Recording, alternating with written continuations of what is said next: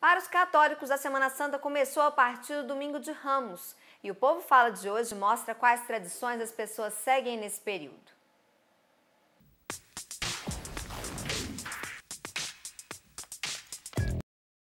Qual tradição a senhora segue na Semana Santa? Ah, eu sigo a procissão toda. sigo a procissão, é, a Páscoa. Eu lavar pés, né, que é muito importante a procissão de ramos igual teve ontem, né? Só, né? Três tradições, né? São três, falei só duas. Ah, acompanhar, gosto de ver a procissão, né? É muito importante isso, Deus na vida da gente, né?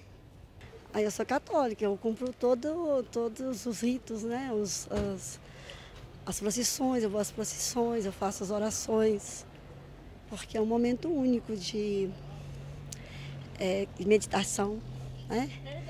De você encontrar a paz, é, intensificar a paz. A senhora pode dar alguns exemplos aqui na cidade de Ouro Preto de algumas procissões ou de ritos que a senhora participa? Eu participo da, de toda a Semana Santa. Atualmente eu participo de toda a Semana Santa. Mas não é só participar, sabe? É, a Semana Santa para mim é muito importante. É algo que leva o meu espírito. Normalmente não sigo nenhuma tradição. Eu até fui criado em famílias católicas, mas atualmente eu sou espiritualista. Então eu acredito que sim, religiões são muito importantes, as tradições são muito importantes, tem que ser conservadas, mas eu não sigo nenhuma.